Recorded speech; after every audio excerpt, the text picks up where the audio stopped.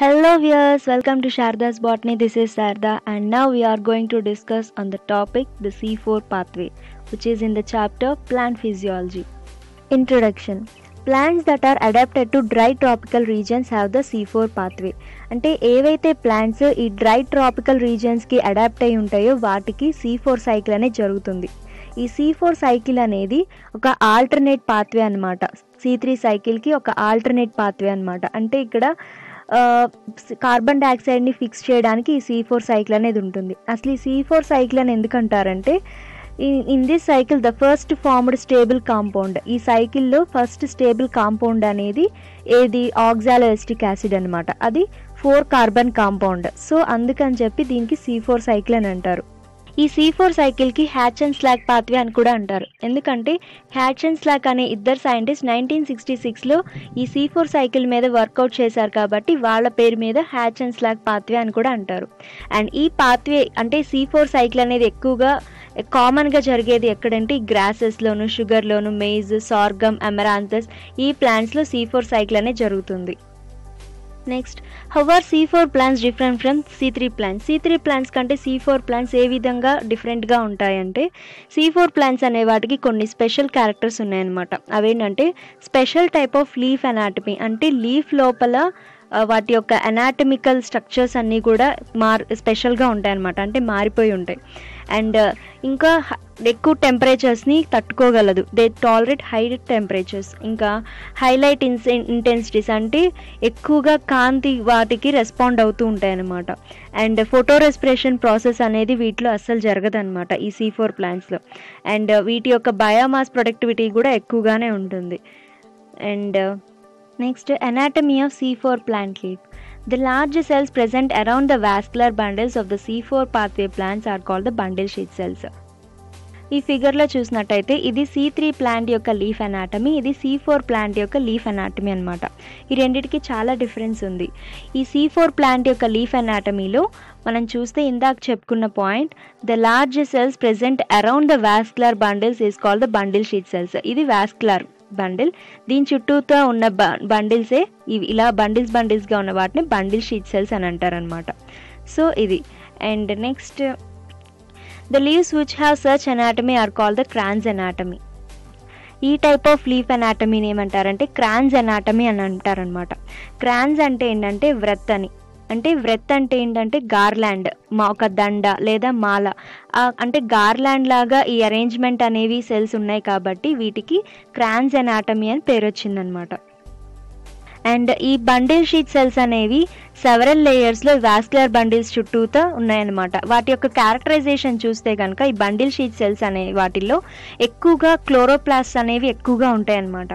And బాగా థిక్గా ఉంటాయి. ఈ గ్యాషెస్ ఎక్స్చేంజ్ అనేది కూడా జరగకుండా థిక్ వాల్స్ అనేది ఉంటుందన్నమాట. అండ్ ఈ బండిల్ షీట్ సెల్స్ దగ్గర ఇంటర్సెల్యులర్ స్పేసెస్ అనేవి కూడా ఉండవన్నమాట.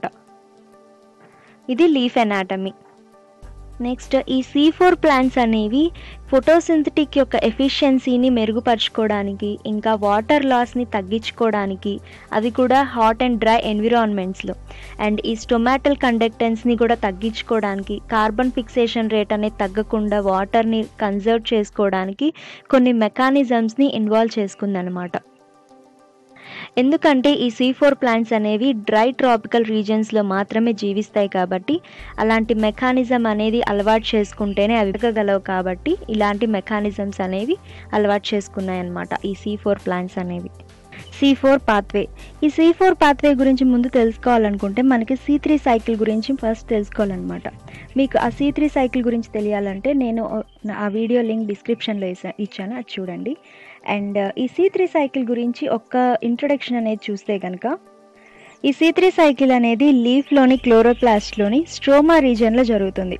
అండ్ ఈ సైకిల్లో ప్లాంట్స్ స్టొమాటో ద్వారా ఇన్స్పైర్ చేసుకున్న ఈ కార్బన్ డైఆక్సైడ్ అనేది ఆర్యుబీపీతో కంబైండ్ అయ్యి రుబిస్కో ఎంజైమ్ ప్రెజెన్స్లో ఫాస్ఫోగ్లిజరిక్ యాసిడ్ అనేది ఫస్ట్ ఫామ్ అయ్యి తర్వాత ఫర్దర్గా సైకిల్ అనేది రన్ అవుతుందన్నమాట. ఇక్కడ మనం ఈ రియాక్షన్ గురించి ఎందుకు చెప్పుకున్నామంటే ఈ రుబి రుబిస్కో అనే ఎంజైమ్ వల్ల. ఎందుకంటే ఈ రుబిస్కో అనే ఎంజైమ్కి కొన్ని స్పెషల్ క్యారెక్టర్స్ అయితే ఉన్నాయి. అవేంటంటే అనే ఎంజైమ్ ఏంటంటే కార్బన్ డైఆక్సైడ్ అనేది ఎక్కడ ఎక్కువ రీజన్స్లో ఉంటుందో అక్కడ కార్బన్ డైఆక్సైడ్తో బైండ్ అవుతుంది.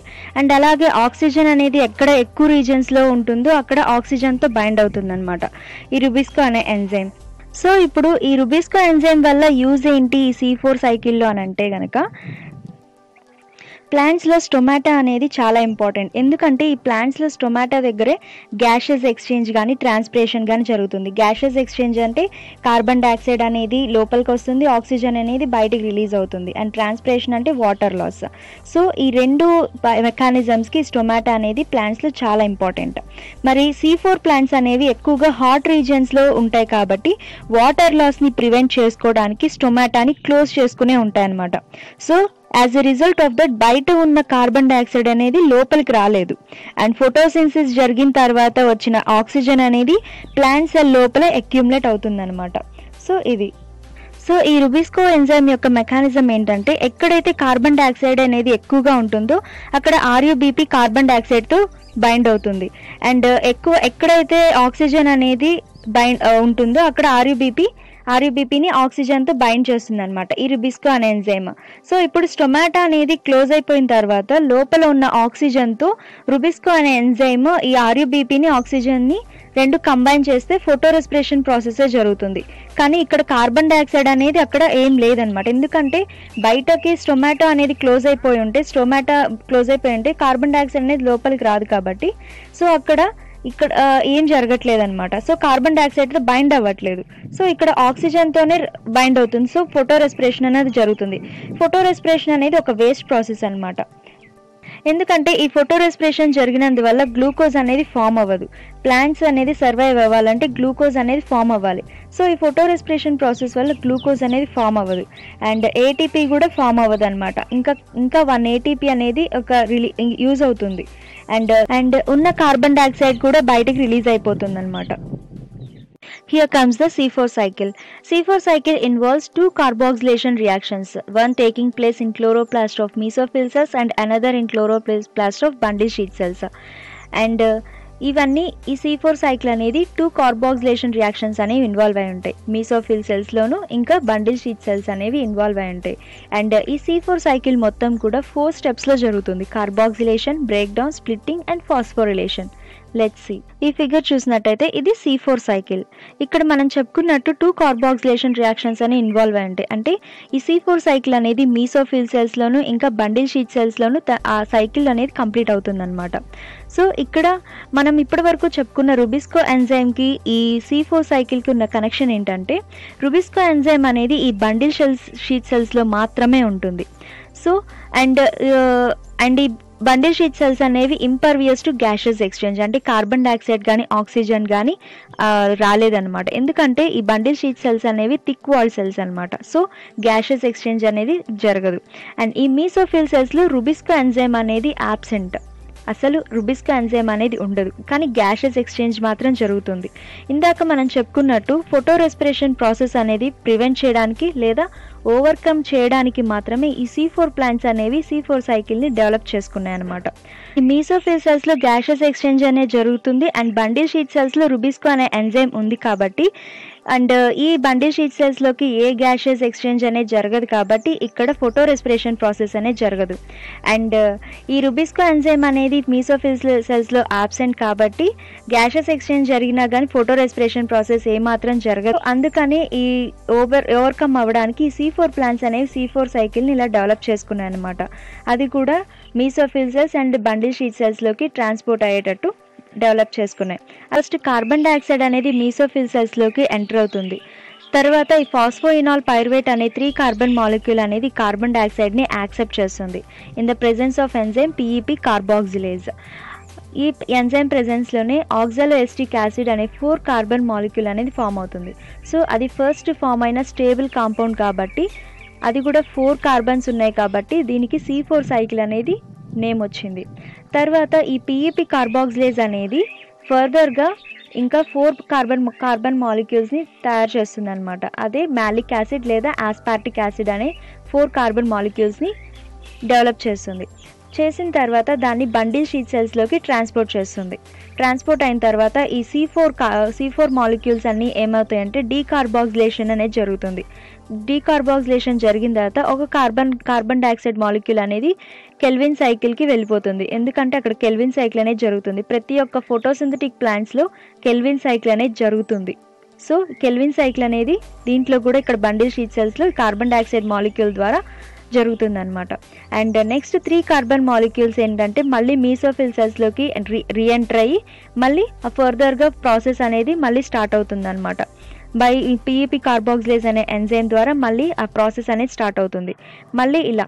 సో ఇది కంప్లీట్ ప్రాసెస్ అనమాట కంప్లీట్ అండ్ కంటిన్యూస్ ప్రాసెస్ అనమాట ఈ సి ఫోర్ సైకిల్ అనేది సి ఫోర్ ప్లాంట్స్లో సో ఇది ఒక బేసిక్ పాత్వే అనమాట సి ఫోర్ పాత్వే అనేది. దీనివల్ల మనకి ఏం ఫామ్ అవుతుందంటే గ్లూకోజ్ అనేది ఫామ్ అవుతుంది. ఇక్కడ చెప్తున్నారు కదా that results in the formation of sugars అంటే గ్లూకోజ్ అనేది ఫామ్ అవుతుంది. అండ్ కెల్విన్ పాత్వే అనేది C three and C four ప్లాంట్స్కి common అనమాట ఇందాక చెప్పుకున్నాం కదా డీకార్బాక్సిలేషన్ అనేది జరిగిన తర్వాత ఒక కార్బన్ డైఆక్సైడ్ మాలిక్యూల్ అనేది కెల్విన్ కెల్విన్ సైకిల్ జరగడానికి ఉపయోగపడుతుంది. And remaining three carbon molecules అనేవి మళ్ళీ పీఈపీ కార్బాక్సిలేజ్ ఎంజైమ్ ప్రెజెన్స్లో మళ్ళీ ఫోర్ కార్బన్ మాలిక్యూల్స్ అనేవి ఫామ్ అయ్యి అలా సైకిల్ అనేది కంప్లీట్గా జరుగుతుంది అనమాట సో సి త్రీ ప్లాంట్స్లో ఏంటంటే మీసోఫిల్ సెల్స్లో మాత్రమే జరుగుతుంది. అండ్ సి ఫోర్ ప్లాంట్స్లో ఏంటంటే బండిల్ షీట్ సెల్స్లో ఈ సి సి ఫోర్ సైకిల్ అనేది జరుగుతుంది అనమాట సో ఇది. And the last one is the camp pathway. క్యాంప్ పాత్వే అంటే క్రాసిలేషన్ యాసిడ్ మెటబాలిజం పాత్వే అనమాట ఇది సి ఫోర్ పాత్వేకి ఆల్టర్నేట్గా ఉంటుంది. ఇది కూడా సేమ్ సి ఫోర్ లాగానే కార్బన్ డైఆక్సైడ్ ఫిక్సేషన్ అనేది జరుగుతుంది. అండ్ సీ ఫోర్ ప్లాంట్స్ లాగానే ఈ క్యాంప్ ప్లాంట్స్ కూడా ఏంటంటే డ్రై అండ్ హాట్ క్లైమేట్స్లోనే ఇవి జీవిస్తాయి అన్నమాట ఎగ్జాంపుల్ చూస్తే క్యాక్టస్ ప్లాంట్స్ అనమాట క్యాక్టస్ ప్లాంట్స్ అనేవి క్యాంప్ ప్లాంట్ ఇక్కడ. అండ్ ఈ క్యాంప్ పాత్వే అనేది సిమ్ సీ ఫోర్ పా పాత్వేకి కొంచెం సిమిలర్గా ఉంటుంది. ఎందుకంటే ఇక్కడ కూడా carbon dioxide ఫిక్ carbon dioxide fixation అనేది జరిగేది ఈ పీఈపీ కార్బాక్సిలేజ్ అనే ఎంజైమ్ ద్వారానే. సి ఫోర్ సైకిల్లో కూడా పీఈపీ కార్బాక్సిలేజ్ అనే ఎంజైమే ఇక్కడ కార్బన్ డైఆక్సైడ్ని యాక్సెప్ట్ చేస్తుంది. అలాగనే ఇక్కడ క్యాంప్ పాత్వేలో కూడా కార్బన్ డైఆక్సైడ్ అనేది పీఈపీ కార్బాక్సిలేజ్ అనేది ఇక్కడ యాక్సెప్ట్ చేస్తుంది. అండ్ కానీ ఈ సి ఫోర్ ప్లాంట్స్లో ఏంటంటే టూ ఫోటోసింథటిక్ సెల్స్లో జరుగుతుంది. మీసోఫిల్ సెల్స్ బండిల్ షీట్ సెల్స్లో కానీ ఇక్కడ క్యాంప్ ప్యాత్వేలో ఏంటంటే only one kind of photosynthetic సెల్లో మాత్రమే జరుగుతుంది. అండ్ uh, ఇక్కడ కూడా ఎలా జరుగుతుందంటే ఈ కార్బన్ డైఆక్సైడ్ ఫిక్సేషన్ అనేది నైట్ టైం అనేది జరుగుతుంది. అండ్ గ్లూకోజ్ um, అనేది మార్నింగ్ టైం అంటే డే టైంలో జరుగుతుంది అనమాట గ్లూకోజ్ అనేది.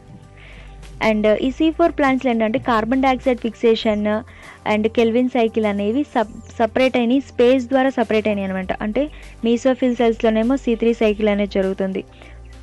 సీ ఫోర్ సైకిల్ ఏమో mesophylls and bundle cells sheath సెల్స్లో రెండిట్లోనూ uh, సైకిల్ అనేది కంప్లీట్ అవుతుంది.